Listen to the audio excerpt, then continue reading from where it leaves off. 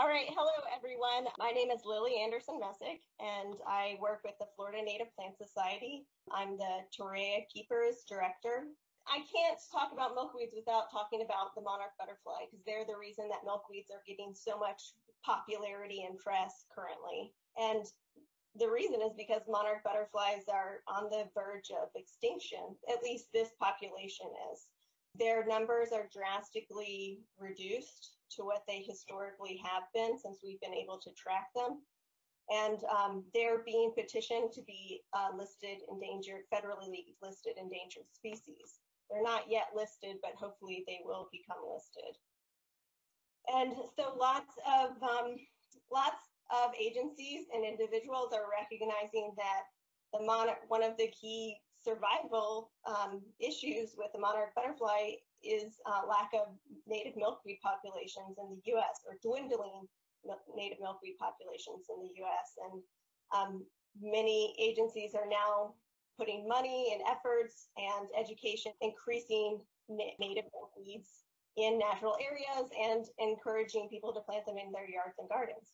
I'm going to show this slide several times because I want to reiterate it many times because it's a really empowering message in a time when you know we see all sorts of things happening environmentally and we feel kind of helpless and hopeless about I can't save the polar bears. But this is a species that we really can save. And in doing so we can actually save many other species because if we protect habitat for monarch butterflies then we protect habitat for all of the other flora and fauna that exist coexist with them. And that's a lot of area and a lot of species. Monarchs, I believe, and I think that they are becoming, they have the potential to become a, an ambassador species that really represents conservation and preservation of native plant habitats, um, just like the sea turtle did with the oceans in the 90s when I was growing up. So some of the threats that are facing monarchs uh, are the, in the south, which is in, Mexico, they overwinter there in these forests of the specific type of tree called an oyamel. It's a conifer. And this tree has become, the wood has become very valuable in the Chinese market. And so it's being logged aggressively and illegally. And it has become a serious issue because despite us being able to support monarchs in the north up here in the US, if they aren't able to overwinter successfully, then their populations will still continue to decline.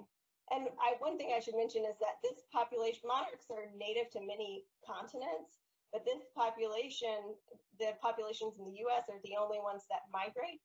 This is a tropical butterfly that has evolved to migrate, which is really unique. And they migrate up north into the United States from Mexico, where they you know, originally existed.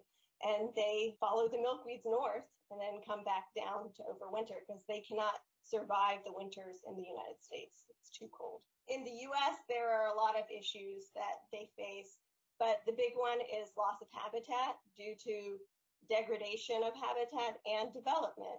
Here's a sign you can see circled. There's a native milkweed right there that will likely be lost when this property was developed. Another issue facing them is the loss of this common milkweed, Asclepias syriaca, in the Midwest. This is a very robust, aggressive, weedy species of native milkweed. Um, it's not native to Florida, but I mention it because it has a big effect on uh, monarch populations. And um, this species was really common and really critical for uh, migrating monarchs. It is the predominant species of the Midwest. It's a really beautiful plant, but farmers don't like it because it competes with their crops.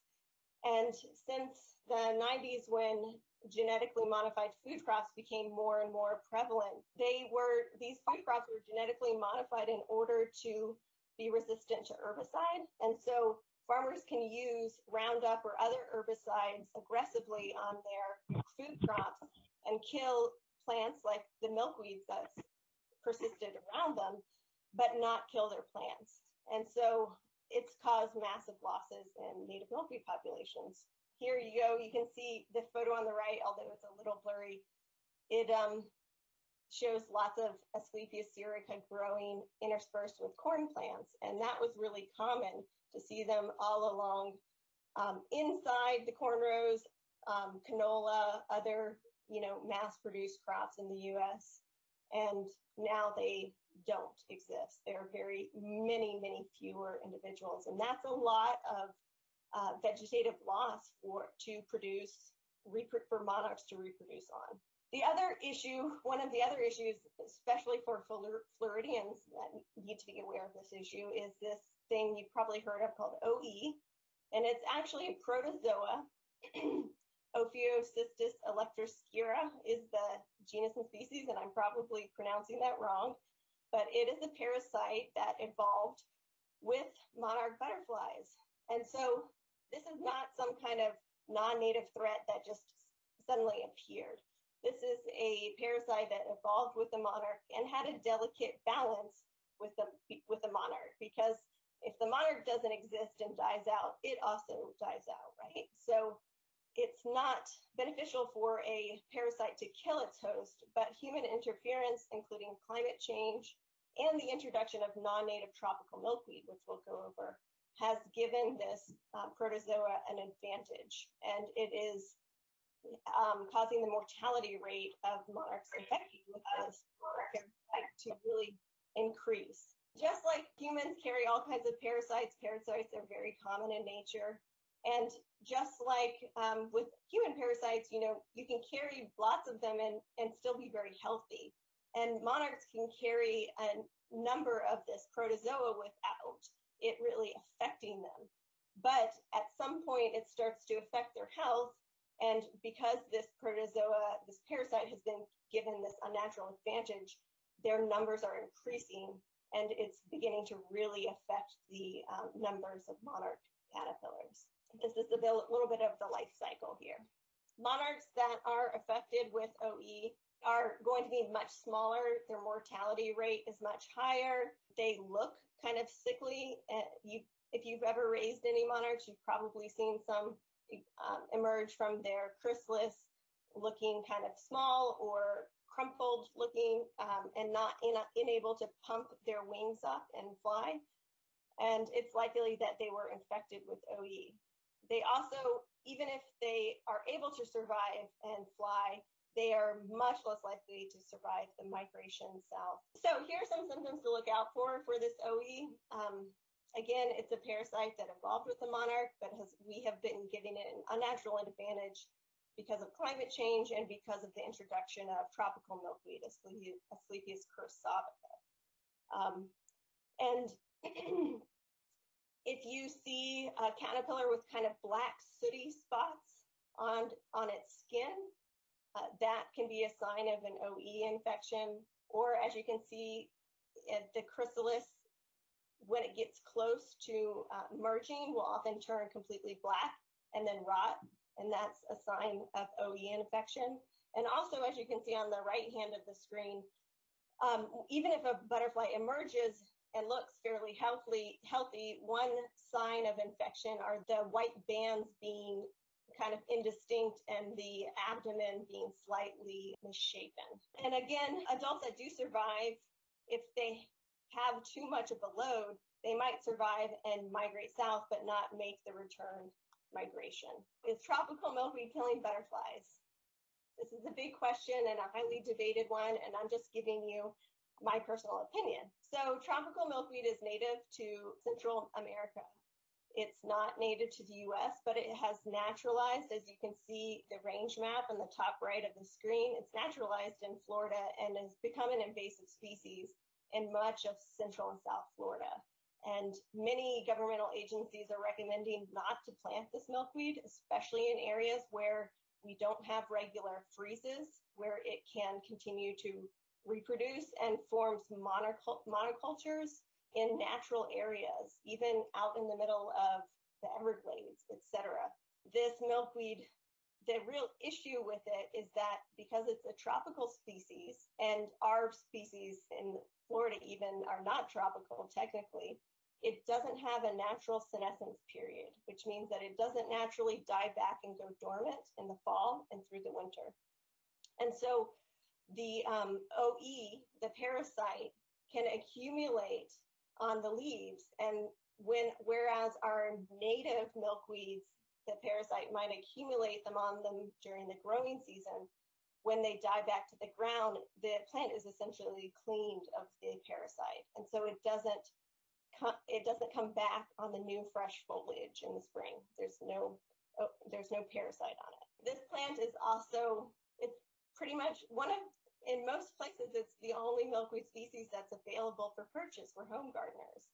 And so it's been a, you know, a difficult balance because so many people want to support monarchs, but they all they can plant is non-native milkweed. And in my opinion, at this point, I feel like um, I agree with many other agencies and nonprofit organizations that it's better to not plant milkweed than to plant non-native milkweed. And again, that's my personal opinion. There's some new evidence that suggests that just the chemical composition of with the interact when milk monarchs interact with this non-native milkweed, they it tricks them into thinking that they are already in Mexico and they may not migrate further south because of that. And then they die when it freezes in the winter. So there are a lot of effects that are always unforeseen whenever we introduce any plant, animal, etc. And we are suffering and seeing the effects of this one. So planting milkweed for monarchs is important, but keep it seasonal, plant native milkweeds only. And if you have non-native milkweed in your yard and you don't want to get rid of it, cut it, the least you can do is cut it back. So cutting back all your milkweeds around Thanksgiving is recommended and cutting the, it throughout the growing season. If in you're, in an area where there's not frost, then cutting it throughout the, sorry, cutting it throughout the winter season to prevent um, monarchs from interacting with it. Again, the tropical milkweed, Asclepias curassavica, it creates an infestation of this parasite and spreads this parasite. And is actually hurting the monarchs as a whole. Also, one of the issues is people raising monarchs year round and raising them in small areas where the um, protozoa parasite can accumulate. The more I learn about this, I've been raising monarchs for, you know, 14 years. And it's so much fun and it's such a great educational experience, but it also is very unnatural. And so if you can keep them outside and and allow them to have normal interaction outdoors, it's it is preferable. I think that it's really valuable for educational purposes for kids to see the metamorphosis process, but all of us who think that we're raising tons of monarchs and aiding them in these cages, et cetera, are can actually be hurting them here we are going moving on to the milkweeds finally. So monarch lives depend on milkweeds, and Florida has 21 native species of milkweeds, which is a lot. We are a biodiversity hotspot for native milkweeds. We also have additional species within that same family. As you can see here, Gonolobus nataleus. I can't pronounce this. Anyhow, uh, females, they can detect with chemoreceptors on their feet it's they can essentially smell milkweeds, and so the more milkweeds in one area, the more able they are to sense them and uh, lay their eggs on them.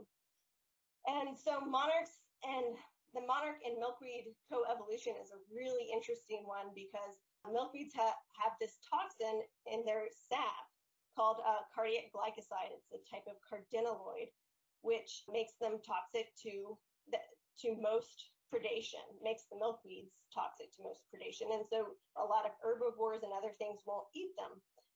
But the milk monarchs have evolved to withstand being able to eat this toxin and they evolved to accumulate and sequester the toxin in their bodies so that they the more they eat the the bigger the caterpillar gets, the more toxins it sequesters in its body and the more toxic it is to predation. So it's very advantageous for the monarch to be able to evolve to eat this toxic chemical and to it prevents predation from a lot of predators. Monarchs, of course, again, are very vulnerable to the loss of native milkweed species. The less milkweed individuals and less species available, the more we'll lose monarchs. So here's a little bit about the flower structure of milkweeds. They're really interesting. And it's a good way to be able to identify a, a, milkweed is they have this common flower structure, which is they have these large hoods that come up, as you can see here. And usually, typically inside the hoods, you can see horns that stick up inside the hood. And then they have these reflex petals that are called a corolla. So here's a close of uh, Asclepias ferigula, one of our native milkweed species. And as you can see, it says stigmatic slit here. And I could go on for a lot, for a whole talk just about milkweed pollination because they have a really interesting and unique pollination process. But suffice to say that it is difficult for them to be pollinated. They and it also is very uncommon for hybrids between species to occur because of their complex pollination process.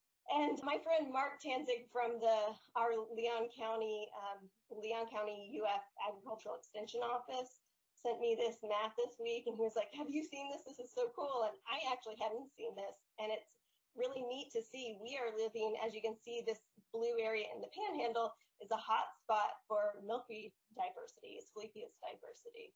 So we're in a really living in a really neat place to be able to experience Asclepias. The majority of the region's milkweeds are confined, confined now to roadsides and powerline easements.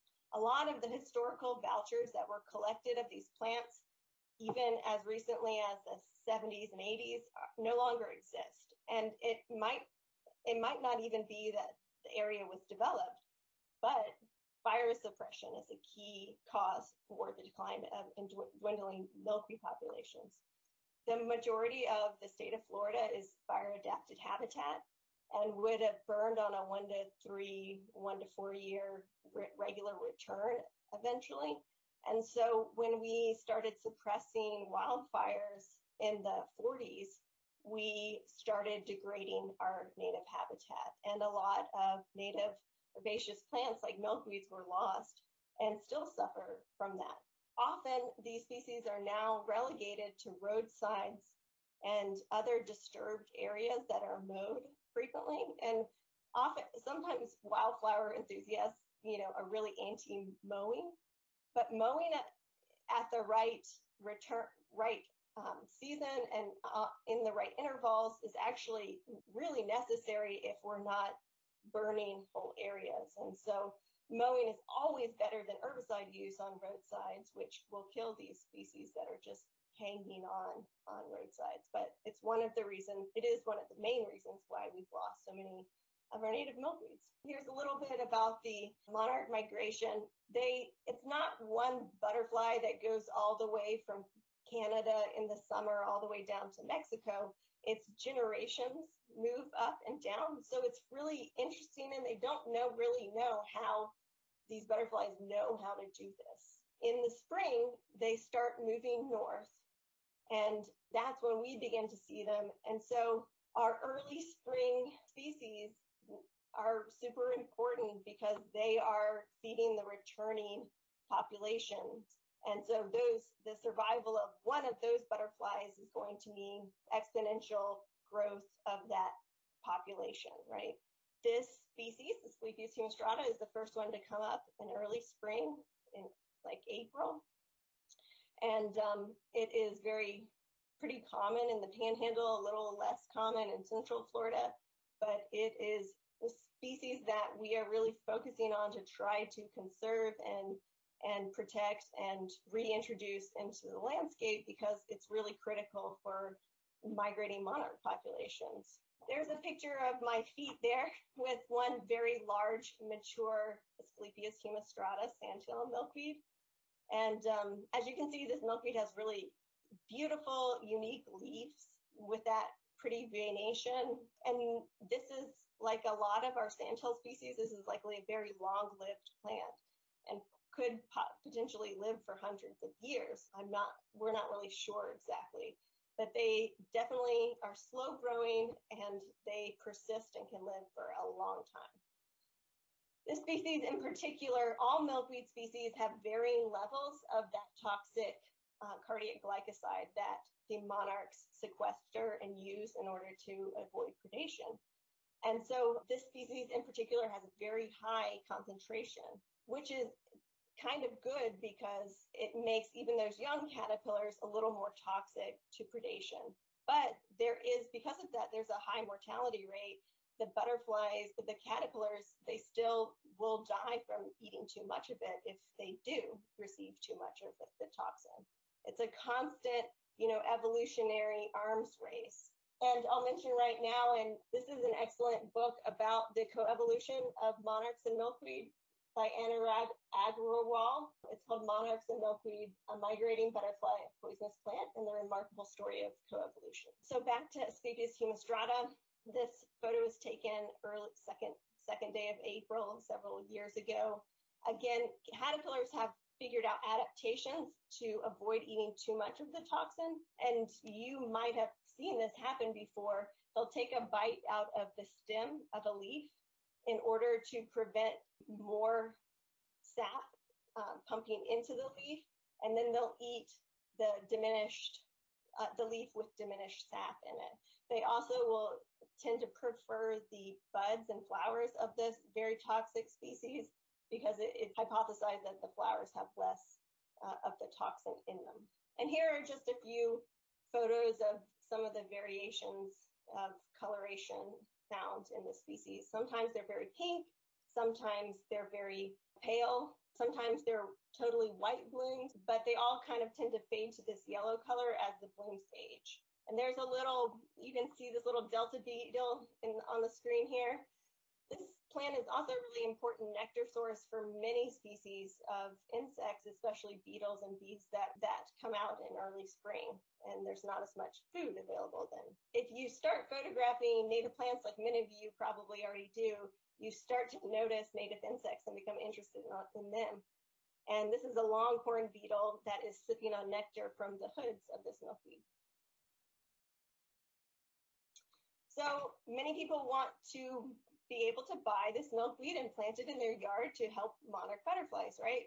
Well, we've run into a lot of issues with milkweed propagation, especially with these sandhill, very dry, sandy soil occurring species like sandhill milkweed because these species tend to be very slow growing and slow to mature, which means it takes them a long time to flower.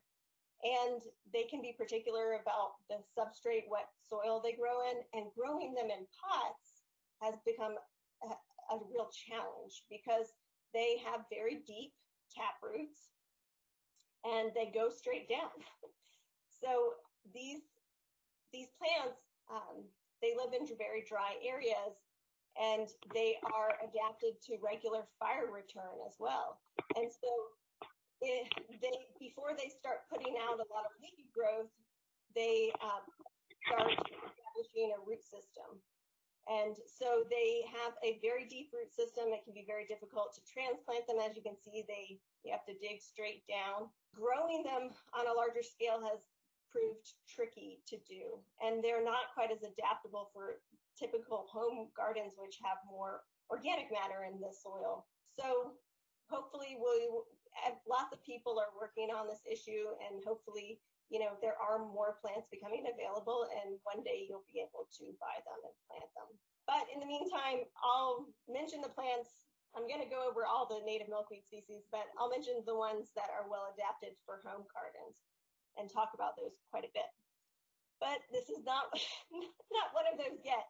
This species is another sandhill species that occurs in very sandy soils, and it's the one on the right there that Scott Davis, many of you know Scott, he is holding Asclepias. Oh no, actually that looks like Humistrata in it, in that photo. Anyhow, Asclepias tomentosa has very deep taproots that go straight down as well. It also has a high concentration of cardiac glycosides, and it's a beautiful native milkweed species. Here a few photos of the plants. And again, this is a slow growing species, so it takes a long time for these plants to bloom. You can't really expect to like get a seedling and then have blooms in three years. That might not happen. It might take much longer. They, it's, it's been variable between indiv- very these species are very variable in, in between individuals as to their growth rate. Longleaf milkweed, Asclepias longifolia. This is one of my favorite species. It's just so photogenic. It's a beautiful plant. It also has the potential to become a good plant for home gardeners because it is adaptable to quite a bit of varying soils, varying soil pH, and varying soil, you know, substrate type of consistencies, whether it's moist or wet, or they tend to occur in more moist, organic rich soils that typically are more um, alkaline, where there's limestone but I've seen them in a lot of different places. And they, because it's not one of these sandhill species, it's much faster growing because it doesn't have to put quite as much energy into putting in a deep root system before it grows. There's a picture of me on the left so you can see the kind of scale of the size of the plant. It doesn't get super tall. It's only a couple feet tall at maturity but the blooms are just and the blooms are very small. It's actually really easy to overlook if you're walking down a power line like i was. You could easily overlook it because the blooms aren't super noticeable. But when upon closer inspection they are just beautiful. And you can see a little mantis uh, on that bloom in the bottom part of the screen there Green antelope horn, Asclepias viridis. this is a species that is much more common further north, but is pretty pretty uncommon in Florida. It is fairly slower growing and tends to occur in nutrient poor soils. It's really gorgeous. It's one of my favorite species, but it's slow growing. So right now it's not one of the ones that are really being focused. I mean, Florida native plant growers are focusing on all of these native milkweed species, but they're especially focusing on the ones that are a little bit easier to propagate and to grow in average home gardens. So um, unfortunately, this is not the easiest of them. Large flower milkweed, Asclepias connivens, this is a beautiful and really unreal looking milkweed. Milkweed diversity in the way they look is just incredible. They have there's so much diversity in shape and form and color. And even between even within a species there's quite a bit of diversity. This is this species has these super enlarged hoods, which are these big things that you are seeing here.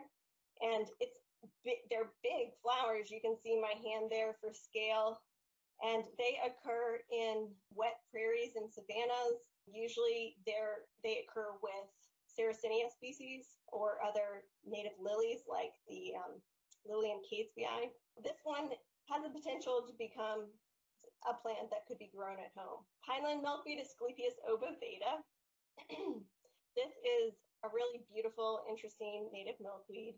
And this plant is actually being propagated currently by some nurseries in Florida and sold at retail. But again, because it's we're at this point where growers are trying to get enough plant matter, seeds, and cuttings in order to provide the very high demand for native milkweeds, it's still hard to find a lot of these native milkweeds because there's such high demand for them and not a lot of supply.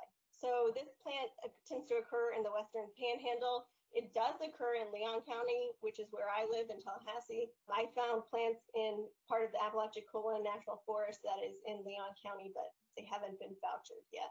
And here's some variation in morphological differences between individuals within the species. This plant on the left was from further in the western panhandle and it had really reddish colored hoods.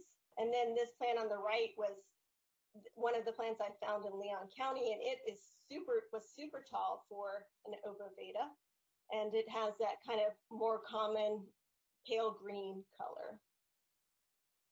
Here are a few more beauty shots of these beautiful milkweeds. Red ring milkweed, Asclepias variegata. This is also a plant that is being cultivated and sold uh, by native plant growers and has has a lot of potential for home gardens. It's on the slower growing side, but it is adaptable to quite a few types of soils. I've seen it occurring in pretty clayey, heavier soils and also sandier soils. And it is fairly adaptable to part sun and shade, although it's not going to bloom quite as prolifically in shadier areas. It, the common name red ring milkweed comes from, at, you can see at the base underneath the hoods, there's kind of a reddish purpley ring. That there's a lovely picture of how pretty it is, but you can this plant, this individual had a really colorful one, and so that's a good. I when I first saw this plant, I was very confused by its common name, red ring milkweed, because it's white, but a lot of them do have that kind of purpley red ring. Few flower milkweed, this is one of the more common native species that you see on roadsides, especially wet ditches along roadsides. And it is a fairly large plant. It's fairly fast growing. It has the potential to become a really good choice for home gardens, even though it's a little lanky and odd looking. It is currently being grown and propagated. These are poor picture, poor quality pictures, but they show you just how tall these plants are and how long and linear those leaves are. So there's my hand on the right side, and you can see how it's just one stalk that comes up and then has just a few flowers at the top. These are blooming now on a lot of roadsides. And this species is often confused with the tropical milkweed because the coloration and the shape of the flowers is very similar. But those leaves are very different than tropical milkweed leaves. So that should be the uh, identifying feature for you. And here are a few different color variations in the flowers. Swamp milkweed, Asclepias incarnata, this is my top choice for home gardeners who want to plant milkweed to raise monarchs on and to support monarchs in their yard. This is a um, plant that is adaptable to quite a quite a few soil types. It is typically found in very wet, mucky, organic, rich, wet soils. But I have grown it in like an average Tallahassee, slightly clay yard, and it has done really well. So yeah, and so it's fast growing. It has a lot of leaves. There's a photo of me on the left with some of the plants. They get very large, so they provide a lot of leaf matter for growing caterpillars. And if they get eaten back by a caterpillar, they resprout and grow back fairly quickly. So one of the issues with buying this plant though is our Florida plants we have found are are likely genetically quite different than the populations of the same species that occur much further north. This is a very common species up north, but when I have purchased seeds from northern seed stock and grown them here, they grow for one year and they don't come back in the spring. There are also quite a few noticeable differences in the plants. And so I think right now they're deciding whether this is our plant our incarnata is actually a unique subspecies. It's definitely different. And so getting plants that are grown from Florida seed stock is very important in all native plants, but especially milkweeds too. Aquatic milkweed, Asclepias perennis. This is another plant.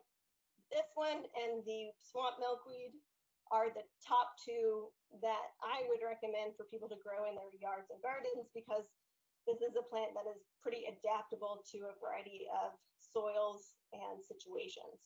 This one in particular is fairly tolerant of less sun and it will grow in forest and very wooded areas. It will grow in, in water, in wet, mucky soils, and it occurs in water, but it also will grow in average soils that are fairly rich in organic matter. This is a much more smaller plant though than the swamp milkweed, the Asclepias incarnata. So it doesn't provide quite as much leaf matter, but it, like the incarnata, it grows back very quickly after it's been munched back by, by caterpillars and it, it'll resprout and keep growing. Here are some differences in ecotypes. The plants on the left are grown from central or south, south Florida seed and they have much more narrow, narrow linear leaves, and the plants are much more compact, about a foot tall or so, whereas that's my leg on the right side there. This is a much taller native plant that was occurring in along Highway 98 in the panhandle of Florida. The ones in the panhandle tend to have wider leaves and tend to get taller, even if they're growing in full sun. So one of this this individual species has a few differences from our other native milkweed species. And one of the differences is that the seeds don't have the little white fluffy things that are called comas that aid in seed dispersal by wind for milkweeds. Once a milkweed pod, once the seeds ripen, the pod opens up and those little comas catch the wind and spread the seed very quickly, which makes collecting milkweed seed for growers difficult. But this species does not have the comas because it grows in wet areas where it relies on water for transport of the seeds. So the seeds are bare, and this plant produces prolific seeds.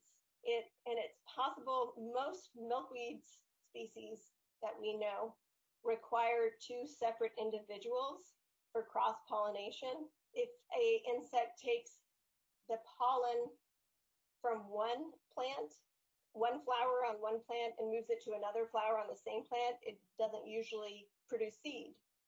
But for this species, it's it's hypothesized that this plant could be self-fertile and that it is able to pollinate itself. So it produces copious amounts of seed, so that makes it also more readily available for home gardeners.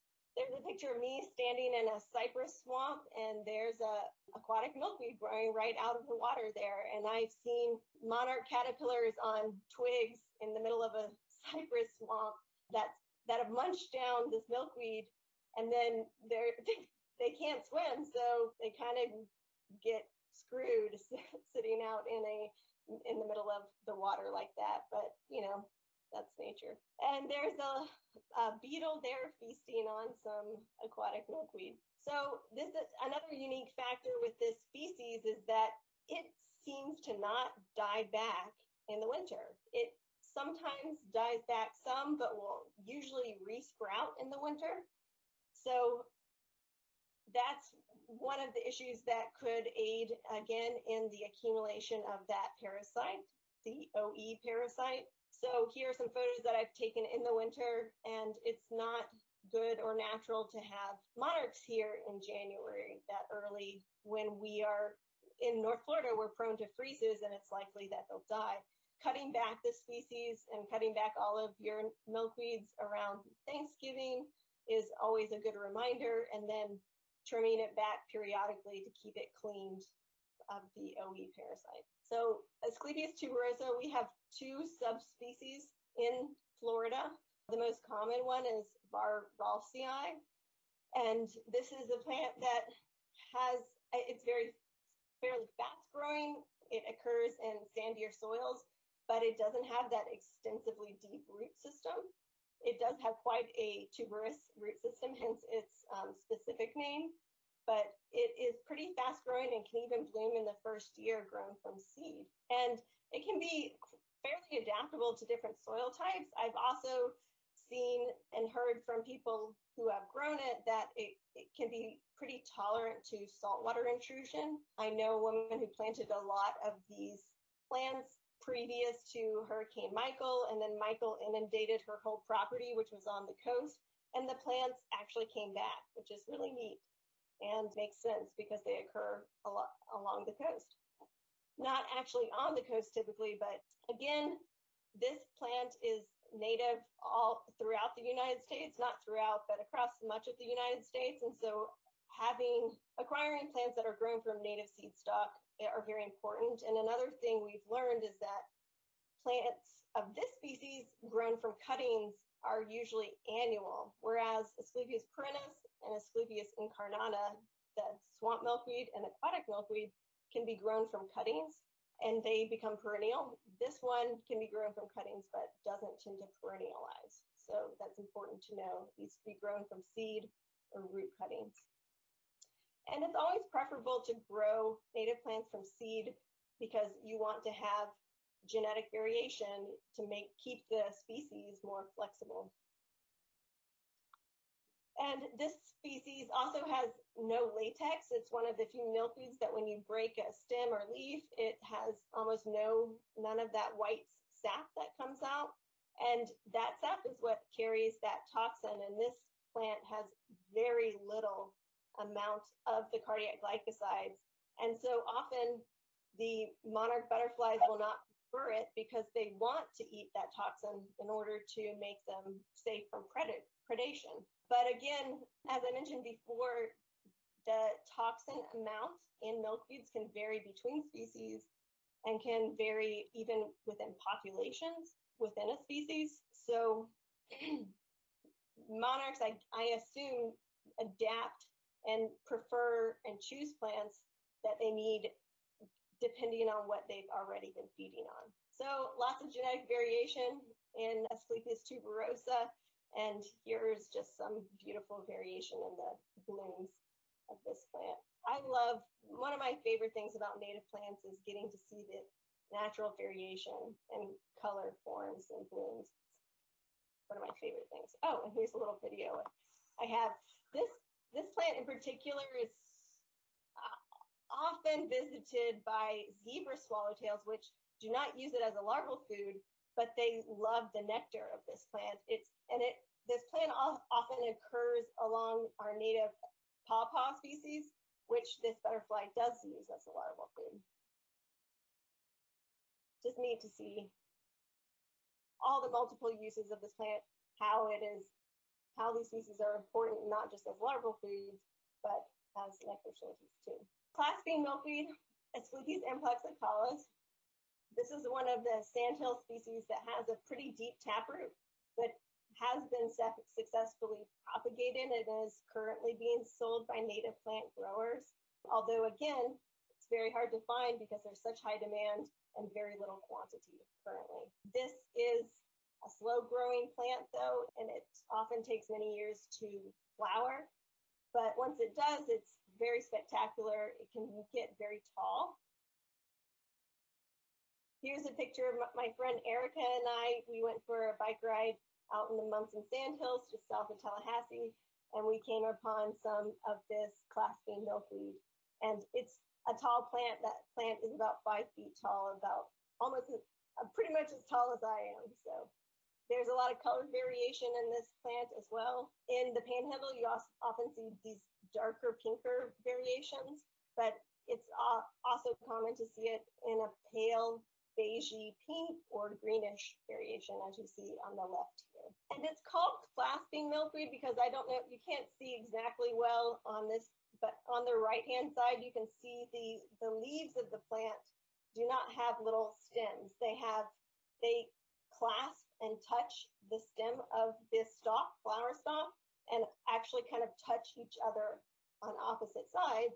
And so it's called clasping milkweed because the leaves are clasping. Whorled milkweed is Asclepias verticillata. This is uh, it's a fairly common species of native milkweed, but it is not common to see mostly because it's easy to overlook. It's a diminutive plant, although sometimes they get fairly tall, but usually it's about a couple feet tall it has these kind of greenish to pale white blooms, and the leaves are very unnoticeable, kind of needle-like. And it's called whorled milkweed because the leaf pairs are in whorls around the stem. So it has multiple leaves all around the stem of the plant. There are probably two subspecies of this plant that occur in Florida because they're found in different areas and in different habitats. The one that's found in the panhandle is typically it's in sandier uplands and is you don't you see a few sparse plants here and there, but in central and south Florida you you usually see this plant in wet prairies and it can be clonal and none of our other native milkweeds quite form colonies the way this one does in South Florida, but not really in the panhandle. So it's likely that there are two subspecies and this plant is native all the way to New Mexico. And I was out there a few years on a trip and I ran into an Asclepias verticillata out there. And it it's the picture on the right is from New Mexico and you can see the difference. Well, you can't see it very well, but the plant in New Mexico is much more robust than our native species here. Red milkweed, Asclepias rubra. This is a really beautiful native milkweed. It has an exceptional exceptionally beautiful coloration. It's they almost glow in the summer sun. They bloom in the summer around July, right around my birthday. They only occur in the western, far western panhandle of Florida. I live in Tallahassee and it's about a three hour drive to see these plants. And so last year was the first year that I got to see this one in bloom and I was so ecstatic to get to see it. This is a taller plant, but it doesn't have, and it doesn't have a whole lot of leaf matter, but it would be a good choice for potentially growing in home gardens eventually because it's faster growing than the sandhill species and prob- likely more adaptable to different varying soil types. But because it's fairly uncommon in Florida, it's difficult to get plant matter for people to grow and propagate. Carolina milkweed, this uh, Asclepias cinerea, this is a very diminutive native milkweed that is super tiny. And when it does occur, you see lots of them typically but it is one of those species, like most of our species, that really relies on fire, regular fire returns. And I, whenever I see lots of these plants, it's always right after a prescribed burn. I included this photo with my accidental finger in here just to show you how tiny these blooms are. They're very tiny, the plants are tiny, and there's not a lot of leaf matter on the plant. So again, it's probably not the best choice for home growing if you are trying to support monarch caterpillars because though monarchs will eat them, it doesn't have a lot of leaf matter to feed them. They're tiny plants, but beautiful and worth growing certainly nonetheless. Florida has two endemic species of milkweed, and they both occur in Central and South Florida only. They don't occur in the Panhandle. And I had planned to get to see both of these species blooming this year, and then this pandemic happened, and I haven't gotten to be able to go see them but hopefully I will get to be able to see them soon. And my friend Scott Ward kindly gave me photos of his so that I can show them to you guys.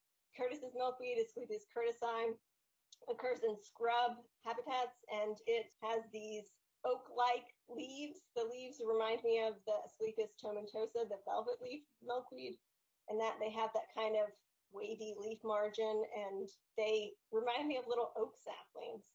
But Again, I've never seen them in person. These are photos that Scott gave me, and I look forward one day to being able to see this plant. Again, this is highly, the, this species is highly dependent on regular fire returns to the landscape. Florida milkweed, we already had a whole lunch and learn, Native Plant Society lunch and learn talk on Florida milkweed by our wonderful Kara Driscoll. She's an awesome, an awesome botanist who is studying this plant right now. But again, this is another endemic species. I have yet to see this one. Hopefully one day I'll get to see it. And it, it is also very dependent upon regular fire returns to the landscape. It's very hard to see and spot because when it's not in bloom, as you can see on the photo on the right, it's a very diminutive plant and could easily be overlooked. So one of the things that might be associated with with many plants that are hard to see, often they are overlooked and they might be more common than we think they are. Savannah milkweed, Asclepias pedicellata, this species is, I would say, probably the least showy of our native milkweeds. It's short and fairly low growing and has these really different looking blooms that um, rather than having the petals be reflex, they're up, they cup up. And it's not completely uncommon, but again, like the Asclepias feayi, it can be difficult to see, and so it's often overlooked. Michaux's milkweed is Asclepias michauxii. This is not uncommon in longleaf pine, wiregrass ecosystems, and is it's a low-growing species that is often kind of hidden in the wiregrass, like this individual was. I think that this species has a good chance of becoming a good choice for home growing at home because I, it is a little bit faster growing than some of the other individuals. And you can see here some varying colorations in the blooms. Green comet milkweed, Asclepias viridiflora. As you can see, it's very uncommon in Florida.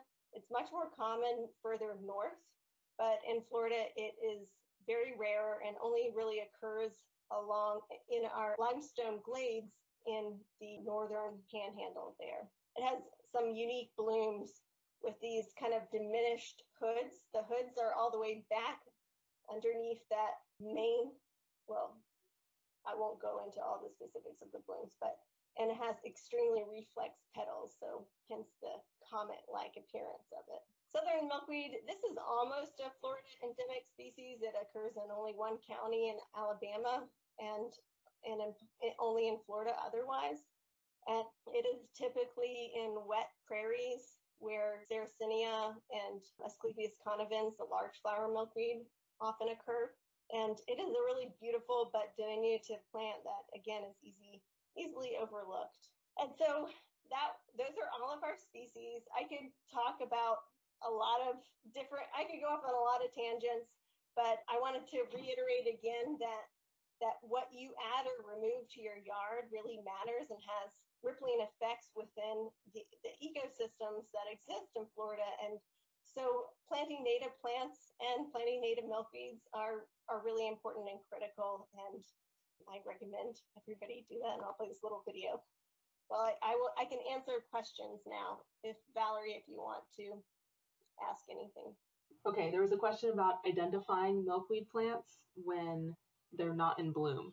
That can be very difficult because, as you've seen in this presentation, they have a lot of different leaf shapes and sizes, and unless you are pretty experienced, that can be very hard to do when they're in bloom or when they are in pod and they have those long follicles, they're called follicles, which are those long seed pods, they can be a little easier to identify. Um, and most milkweeds do have that white sap if you break a leaf or stem, but other plants like euphorbias also have that white sap. So it's very difficult to ID a lot of plants when they're not in bloom because, you know, flowers can be key diagnostic features for plant families.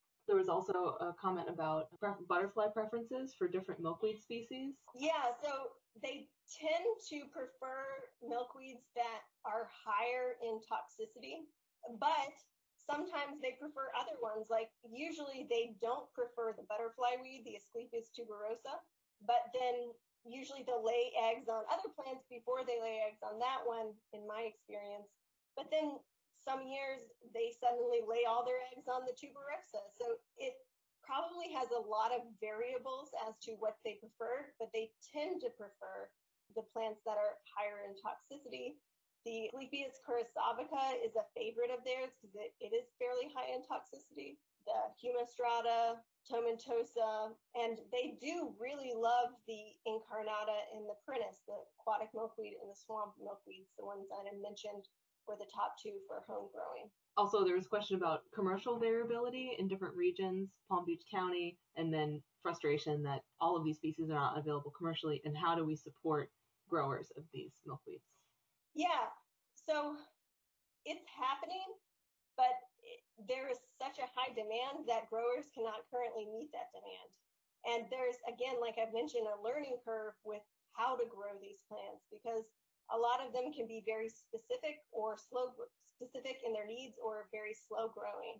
So as I mentioned, the plants that Asclepias perennis and Asclepias incarnata are the most readily available native species, along with Asclepias tuberosa. And those are all great plants and fairly adaptable to most gardens. And so I would recommend those.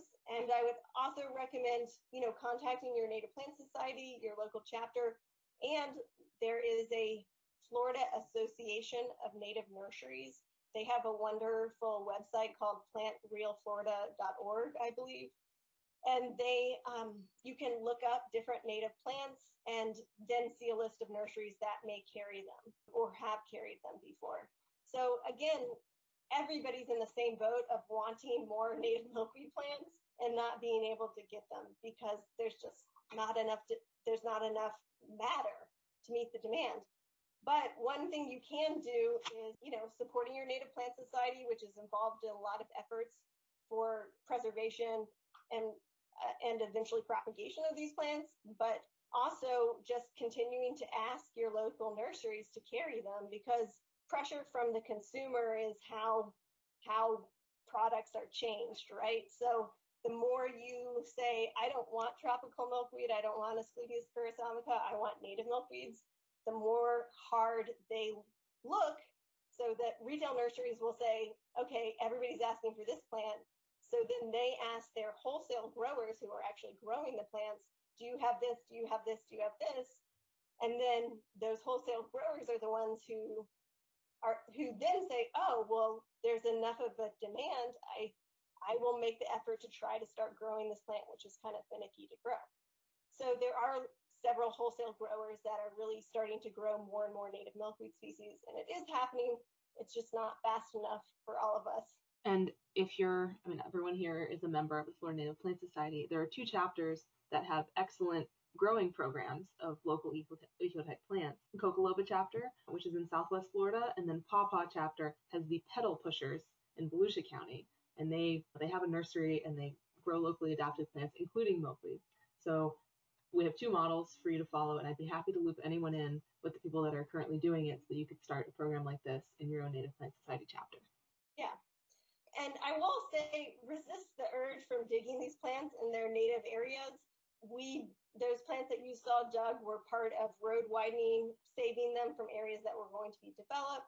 But letting them be where they are is really important. You can collect some seed. Don't ever collect all the seed from all the plants in a population or all the seed from one plant. Collect some seed and you can try growing it, but be really careful about and so many of us want these plants but it's really important those plants that are still persisting in their native habitat are really important to let be so just putting that out there Roden would like to know if you get some seeds is it better to broadcast them or try growing them in pots and then transplanting well like i mentioned we have 21 species they're all variable in um, and the type of soil they grow in and the pH that they might prefer.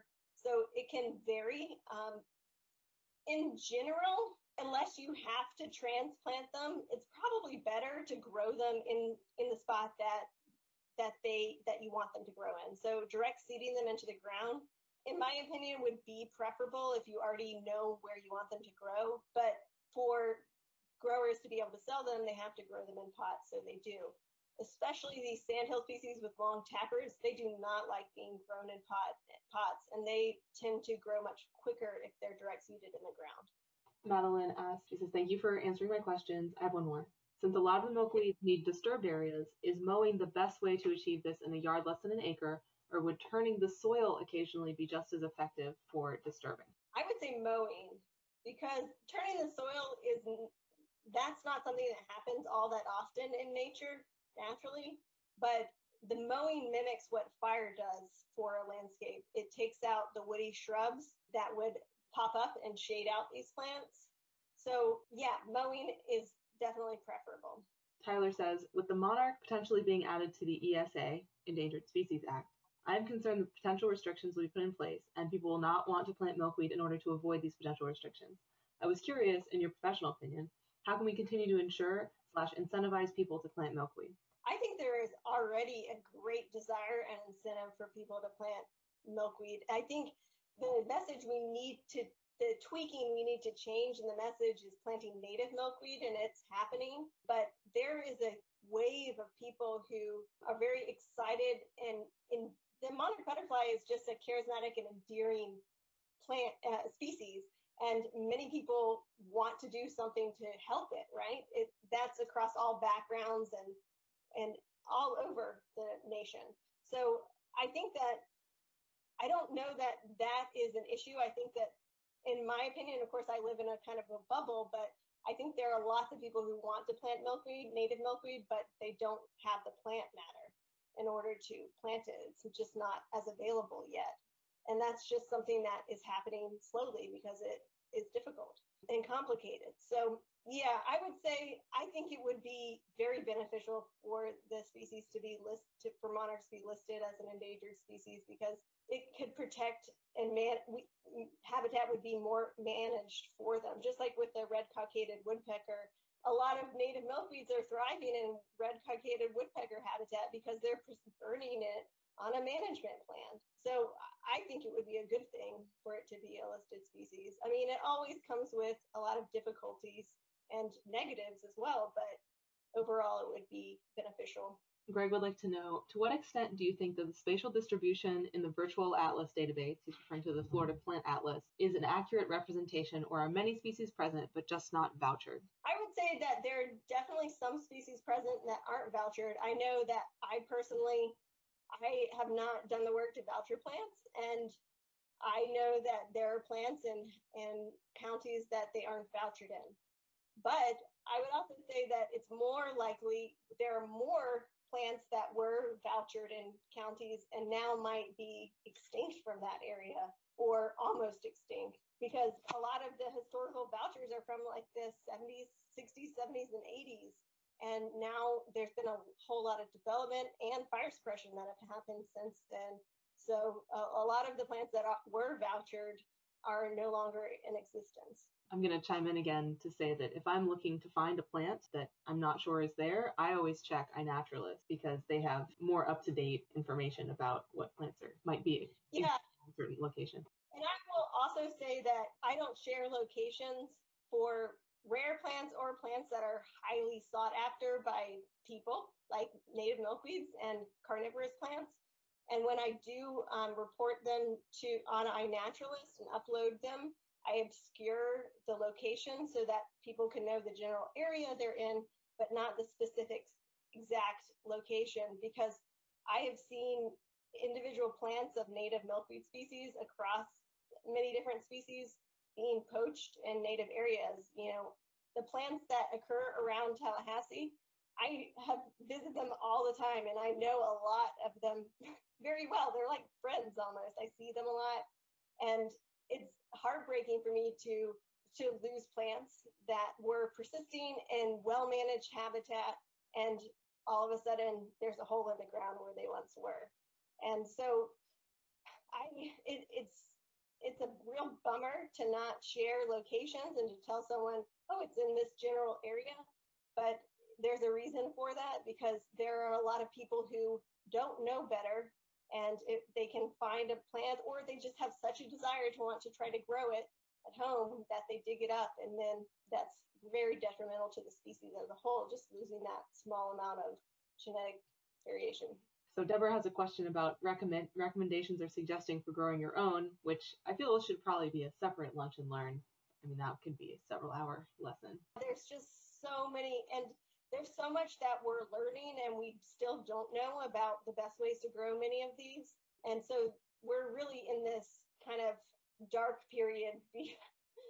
There's there are species that we have a lot of experience with, the ones that I've mentioned many times, and Incarnata and Perennis, tuberosa, and there are some species that we're learning more about, but the Incarnata, Perennis, and tuberosa, those are all fairly easy to grow. You can grow those if you know how to take cuttings, you can grow them from cuttings. You can grow them from seed fairly easily too. But yeah, they're all they're just so we have so many species and they're all pretty different.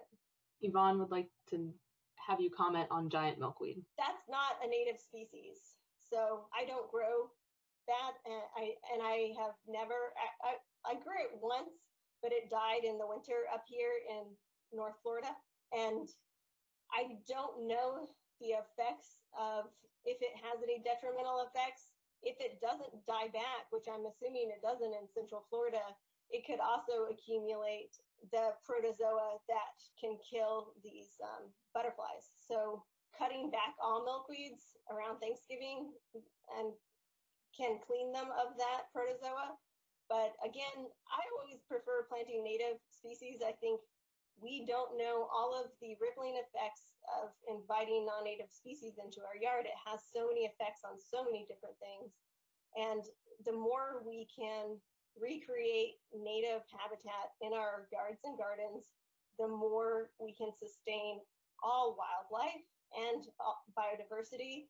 And that means having a healthier environment for all of us and having you know, clean air and clean water and all of the other things that ecosystems, healthy functioning ecosystems provide us. So planting native plants is really important. It's important for all of us. And um, I could give a whole talk on, on just that. Murray would like to know if you know of any other insects that are dependent on milkweeds and are even more rare or more threatened than monarchs. I, do, there are many different insects that are obligates to milkweeds as well. And this is a book that if you're interested in other species of insects that use milkweeds and are found on milkweeds, because once you start growing milkweeds, you notice that they have regular visitors that you don't see on other plants. And it's called Milkweed Monarch and More, a field guide to the invertebrate community in the milkweed patch. And if you're interested in those other insects, definitely get this book. This is a great book uh, because there are other butterfly species that use milkweeds as well. I don't know of any other insect species that are more or as threatened as the monarch, but it's possible that there could be. I'm just not an entomologist. Also, very few people are looking to list insect species. It's just yeah, not, that's not happening, no matter how rare they might be. It's just not happening. Yeah, and insects they're not showy and pretty like butterflies are very overlooked and undervalued, and they are extremely important. What about the vine milkweed relatives such as Matelea, Gonolobus, and Sarcostemma? I have seen what was identified to me as soldier larvae on Sarcostemma. Yeah, monarchs do use them, although they do not tend to prefer them. And yeah, I didn't go over them because this is mostly about milkweeds rather than milk vines, but we have several genera of, well, I think we have three or more genera of native milk vines, they're called, which are in the milkweed family, but they're vines and they have pretty different looking blooms, although they're kind of similar in their flower structure. And yeah, I I mean, I could go I mean, I could give a whole talk on that. Looks like we have several more topics for lunch and learns. so Donna says even if monarchs don't love tuberosa, so it's monarchs do lay eggs on tuberosa and they do use it for nectar, but as Lilly pointed out, they don't hmm. have that much glycoside, so are not always preferred. She asks, yeah. are there other butterflies pollinators that do love it? I've definitely seen queen caterpillars on tuberosa, although I see them more on Corinus and incarnata, especially Corinus. And certainly pollinators love tuberosa. I mean, tuberosa is one of our more common occurring species, and it's also one of the more florific. I guess it blooms a lot, and for often blooms in the spring and then again in fall, at least in the panhandle here. And so, yeah, it provides a lot of nectar for native insects. And like I showed that little slow mo video of the zebra swallowtail butterfly nectaring, I always see zebra swallowtails on tuberosa flowers. They love tuberosa. And lots of other butterflies and other wasps and bees and all sorts of insects. I think the key is you plant the milkweed that works for your location that you can get a hold of. What is your yard like? Not, oh, this one's not good for butterflies. I shouldn't plant that one. Recreate yeah. ecosystem rather than picking and choosing based on what we know of current insect plant interactions. Yeah. So one, plant native, and then two, plant for your site. So if you have full sun, then a lot more of these native milkweeds are adaptable to full sun and prefer full sun. And then you have to consider your soil. Michael asked, should we dig up our tropical milkweed all at once? Speaking for myself, the more I read about the subject, the more I find that it is causing harm to monarchs as a whole. You might be saving one butterfly or five or 20 or 500 even, but you are weakening the species. And so, in my opinion, I don't grow tropical milkweed. Also, because it's an invasive species in Florida. It's not listed, but it is certainly in Central and South Florida an invasive species. And I am noticing it spreading in North Florida too. So to me, that's up to you, but I don't plant it and I don't allow it to grow in my yard you could replace it with native milkweed and then dig it up. Yeah, and we face this conundrum, which I know all of you are frustrated about, is like, but I can't find native milkweed. and again, you know, the Xerces Society, they say it's better to not plant milkweed than to plant tropical milkweed. So, yeah, hopefully we are doing all we can to propagate and grow more native species and keep harassing your local nurseries to grow it and they will harass their growers to grow it. So not don't harass them. I don't want to say that, but just keep asking for it. And I mean, this goes straight into generalized anxiety about. Susan says, "I'm wondering how many plants might be enough." Start to get worried. Am I? Am, do I have enough milkweed? I think that it's easy for us to like. W- humans tend to get in. We want to mother these butterflies, you know, and like try to save them and protect them and and really just planting native milkweeds what you can plant if you can plant three plants of any native plant it's always better than planting one the butterflies will be able to notice and smell the plants if there are more of them and the more individuals you have if they were grown from seed the more genetic variation you'll have which is good for the species and good for seed production you'll be able to produce seed if you have more than one individual. So planting three is ideal, but if you can only plant one, just plant one. It's okay. It's better to do plant one native plant than plant no native plants. Do what you can and trying to um, protect the butterflies from the harsh reality of nature. You know, I totally understand and I am guilty of it of like, you know, wanting to protect them and trying to coddle them along. But in what I've learned is that in reality, you're you're weakening the species the more you try to kind of coddle it. So doing what recreating a native yard, recreating natural ecosystems, restoring them is what we can do to save the species. So just planting more native plants in your yard and even the there I could do a whole talk on just flowering wild native wildflowers that are necessary and useful for nectaring for monarchs. There are several species. Goldenrods in the fall are really important. Liatris and saltbush baccharis species. They, those are very useful resources for and necessary resources for nectar for migrating monarchs that are going south in the winter. Yes, if you receive the most the upcoming palmetto, Craig Huegel has an excellent article about using native grasses. So Beth says as much as you can grow and have in your yard is enough. Yeah. And that really that goes to could you have a whole yard full of goldenrod? Yes, but the flower stalks are going to flop over because they're not being held up by the grasses. So create a healthy ecosystem always include milkweeds. But your yeah you know, the amount of milkweeds in your yard with your soil conditions, moisture conditions, and your species might be very different from someone else's yard nearby, and you don't need to get uh, worked up about that. Yeah, there's no one set palette of plants because there are so many different ecosystems in Florida and so many different habitats um, and species. But biodiversity in your yard is important. So doing what you can to increase the diversity of native plants increases you know the diversity of insects and wildlife that your yard can support. Lydia Cooney with the Fairchild Tropic, Tropical Botanic Gardens thanks us for our recent support, and they're looking forward to recording observations and cultivating the native ecotypes of the rare milkweed species here in Miami for butterfly gardeners, native plant enthusiasts, and are off to a great start. Thank you. Thank you, Lydia. If uh, anyone would like to get involved in citizen science regarding milkweeds, you can take observations and obscure them, please, on iNaturalist so that other people don't know where they are exactly. And um, we can see them. We have a project that curates them automatically.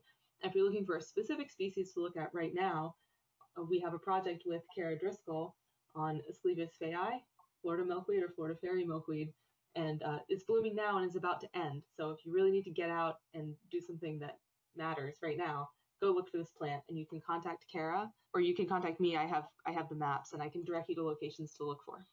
Look for this this plant species. Beth would like to know, do milkweed seeds need cold treatment in South Florida? Kara says no. Yeah, no. Okay, that's all the questions. We've gone way over. Thank you, everyone.